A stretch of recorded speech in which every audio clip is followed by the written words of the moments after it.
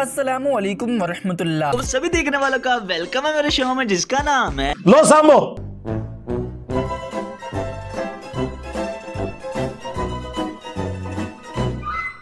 क्योंकि आप बैठे हैं आपको देख के मुझे शरारत सूझ जाती है। पाक रज़ी अल्लाह तु पर्दा फरमाए इंतकाल हुआ गौसे पाक सरकार का। इन्ना लिल्लाहि व इन्ना इलैहि राजिऊन। आपको कब्र शरीफ में मजार अकदस में लिटा दिया गया। पूरी दिहाड़ी सुते रहने होने ने। कब्र शरीफ बंद हो गई फरिश्ते आए। अभी मज़ा आएगा ना भिड़ो। आकर कहने लगे मन रब्बू का। तेन नहीं पता? गौसे पाक से सवाल कर रहे मन रब्बू का। हाँ आना फिर गेड़े गौसे पाक सरकार ने कहा क्या तुमको आदाब नहीं मालूम? हमारे मतलब आपको मत सिखा चल। कि बात करने से पहले सलाम किया करो। ये वालेकुम सलाम अन्नू भाई क्या हाल चाल है आपके? हाय हाय हाय। हाय हाय हाय हाय। मेरे गौस की हुकूमत तो देखो। मेरा गौस सिर्फ़ इंसानों पे राज नहीं खबर के अंदर फरिश्तों पे भी राज करता है। और सरकार तो आड़े बाबिया नु खंगन भी नहीं देना किसी ने। गौसे पाक सरकार फरिश्तों से कहने लगे। मैं बगैर तू। बात करने से पहले सलाम क्या करो? भारी मिस्टेक हो गया सर। आदाब नहीं मालूम? ये गेट टूरो ना। फरिश्ते अदब से खड़े होकर कहने लगा सलाम वालेकुम या अब्दुल कादिर।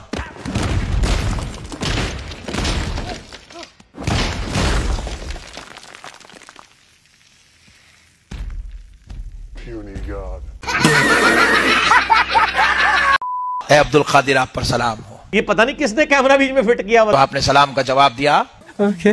जवाब देते ही फिर फरिश्ते पूछे मन रब्बू का।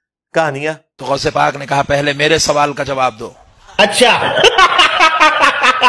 फिर मैं तुम्हें तुम्हारे सवाल का जवाब देता हूँ। चलो चलो चलो। बोले अब्दुल कादिर आपके क्या सवाल हैं?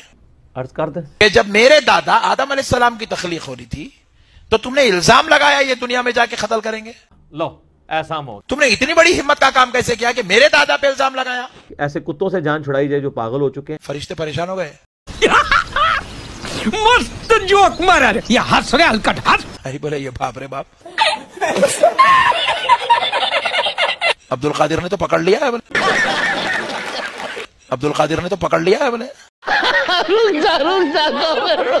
तो फरिश्ते अर्ज़ करने लगे ए अब्दुल कादिर जब ये वाकया हुआ था आदम सलाम का जब अल्लाह ने पूछा जब हमने जवाब दिया हम दोनों थोड़ी थे? हम दोनों थोड़ी थे। हाँ वाकई वाकई। वहाँ तो पूरे फरिश्ते थे। आप सबसे पूछो। कोई शर्म होती है? कोई हया होती है? बोले जाओ सबको जमा करो मैं पूछने आ रहा हूँ। बोले। आजा आजा। सारे फरिश्तों को उन्होंने जमा किया और गौसे पाक की रूह मुबारक आसमानों में सैर करने लगी। और जाकर सब फरिश्ते अर्ज़ करने लगे अल्लाह अब्दुल खादिर ने पकड़ लिया है। छाड़ दो अब्दुल कादर पे आ गया। अल्लाह अब्दुल खादिर ने पकड़ लिया है। लानत है तेरे ऐसे कीदे के ऊपर। बेशरम इंसान। वो हमसे सवाल करने लगे हैं। तो रब ने फरमाया जब अब्दुल खादिर पूछता है तो मेरे फरिश्तों जवाब दो। हाँ दसो। अब्दुल खादिर पूछ रहा है तो जवाब दो। फरिश्ते परेशान हो गए। सरकार पाक की रूह पहुँची। एक केड़ा दीन है? एक केड़ी आयत है? केड़ी दीस है? पाक पूछने लगे। सदियों में आप लोगों ने जो इज्जतें वेल की थी चौदह साल मिट्टी पलीत हो गई है। जो झूठ की इमारतें आपने खड़ी की हुई थी। तो फरिश्ते आजीज आ गए सवाल का जवाब नहीं दे सके तो कहने लगे अल्लाह! हमें अब्दुल खादिर के इन सवालों से बचा ले। तो रब फरमाता है अब्दुल खादिर इनको छोड़ दो। आप तो इस बात को रो रहे हैं कि ये गैर गैरुल्लाह को अल्लाह के साथ शरीक ठहरा रहे हैं। ना ना सरकार गल वध गई है। ये तो अल्लाह के ऊपर ले गए हुए हैं। अब्दुल खादिर इनको छोड़ दो। तो गौसे पाक सरकार की रूह मुबारक ने अर्ज़ किया ए अल्लाह तेरे हुक्म से मैं इनको छोड़ता हूँ लेकिन मौला मेरी एक शर्त है। अबे जल्दी बोल कल सुबह पनवेल निकलना है। अब्दुल खादिर क्या शर्त है? तो कहते हैं कि सुनो आज से लेकर सुबह कयामत तक जब कभी खबर में मेरा मुरीद आएगा। कान में क्यों चीख रहे तुम्हारे अब्बू का कान। जब मेरा मुरीद आएगा तो तुम उससे सवाल पूछ पूछ। अब्दुल कादर जिलानी अलैह और अल्लाह की गुफ्तु भी उन्होंने नकल किया उसमें। यार ये अब्दुल कादर जिलानी अल्लाह के साथ कैसे गुफ्तगू कर सकते हैं? अगर मैं आपसे ये पूछूँ कि गुलामत कादियानी दज्जाल का क्या कसूर है? अगर यही कुछ आपने बाकी बाबों के लिए भी मानना है। अभी मैं चिश्ती रसूलुल्लाह, अशरफी थानवी रसूल्ला की तो बात ही नहीं कर रहा ना।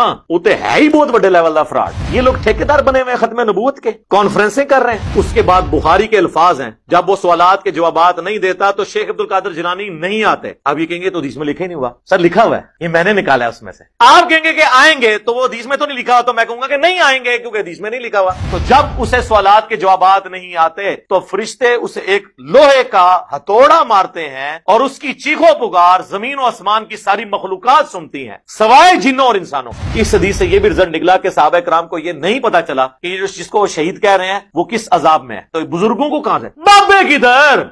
हूँ मज़ा आया। बाबे तो शाही कोई नहीं। एक नवा जुमला मार्केट आया। अगर साहबा को नहीं नज़र आया अजाब कबर वाली चादर तो बाबे तो शाही कोई नहीं। सही मुस्लिम की हदीस है, जिसे उसका अमल पीछे छोड़ दे, उसे उसकी निस्बत आगे नहीं लेके जा सकती।